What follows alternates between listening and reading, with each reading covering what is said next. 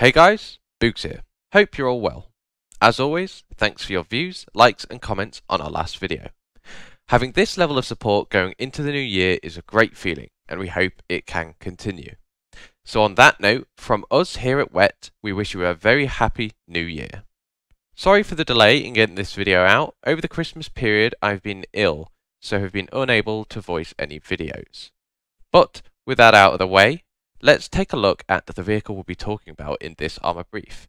And it is, of course, another PLA faction vehicle, the ZBL APC.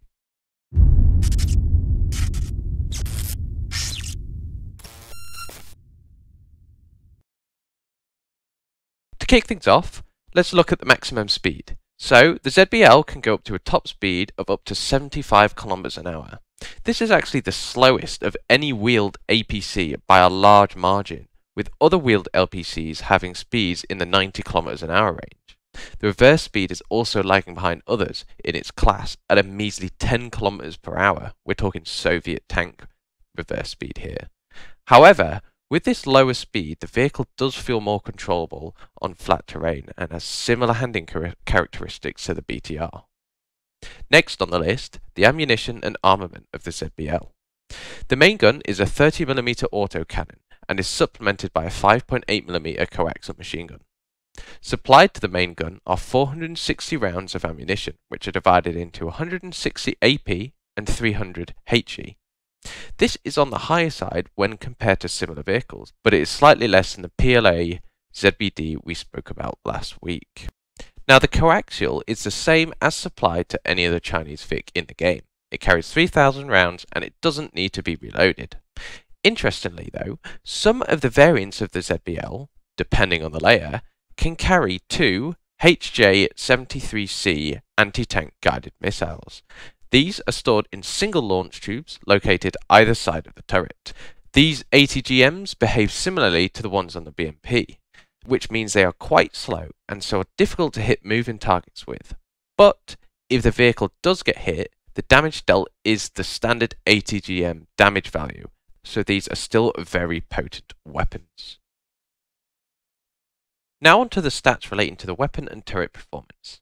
The main gun we discussed earlier can fire its 30mm rounds at 300 rounds per minute, which makes it the fastest firing wheeled APC with an autocannon in the game at the moment. This is just above the BTR's 250 RPM main gun.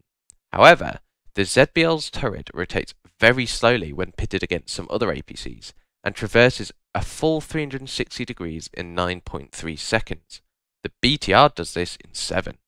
This means that the gunner will struggle to track targets when the vehicle is moving, especially at close range. The next thing to look at are the vehicle's health, supplies and other important details. The ZBL has a standard health for APCs at 1250 HP. This is the same as the LAV 25 and Stryker, but a little higher than the BTR. The vehicle is also standardized in the supplies and crew department with 600 ammo inside the vehicle and a crew of two crewmen and eight passengers. The commander seat in the ZBL does not require a crewman kit and has an unobstructed 360 degree view. Interestingly though, the driver sees through a camera that has 150 degrees of visibility. This view also displays the direction both gunner and commander are looking at, giving it unmatched levels of awareness. One other interesting thing to note is that when in its ATGM configuration, it is the only APC in squad to have an ammo rack. This is located underneath the turret on either side of the vehicle, similar to the Bradley. On its normal configuration, this is not the case. Also, the engine is placed in the front left side if viewed head on. Finally, the turret can elevate up to 70 degrees and can depress to minus 7 degrees. Again, though, these stats are the same as the BTR. Okay, the next section will be about the vehicle's armor profile. Basically, and this is very, very, very similar across our other armor briefs, the red area will disable the turret, the orange will disable the engine, and the green areas in the ATGM variant will deal ammo rack damage. Shooting any other part of the vehicle with an autocannon will deal damage. The side, rear and turret are the only places vulnerable to 12.7mm fire.